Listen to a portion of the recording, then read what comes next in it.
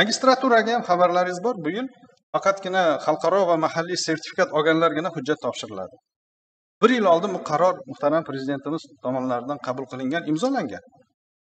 Hozir har xil fikrlar bo'lyapti. Men sizga bitta raqamni aytaman. O'tgan yili to'rtinchi kurs bakalavriat bitiruvchilarining atigi yetti yuz nafari sertifikat olgan til bo'yicha.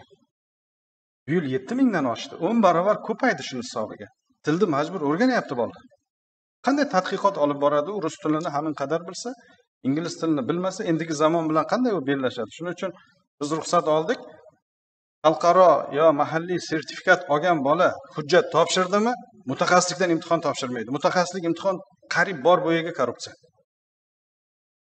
Diplomini o'rtacha balli hisoblanadi konkurs bu degani hujjat topshirgan abituriyent magistr bo'ladi. Bu ko'riladi. To'lmagan kvota ikki marta qabulni biz so'rayapmiz. Bu avgust oyida va yanvar oyida magistraturaga qabul bo'ladi. Hozirgi eng katta muammolarimizni asosiylaridan biri magistraturaga qabul yaxshi bo'lmagani hisobiga oliy ta'limga nobop odamlar ko'payib ketish hisobiga biz doim shu dashnomda yuribmiz shuning uchun buni qabulini to'liq muvofiqlashtirsa bo'lar ekan shu yo'ldan boryapmiz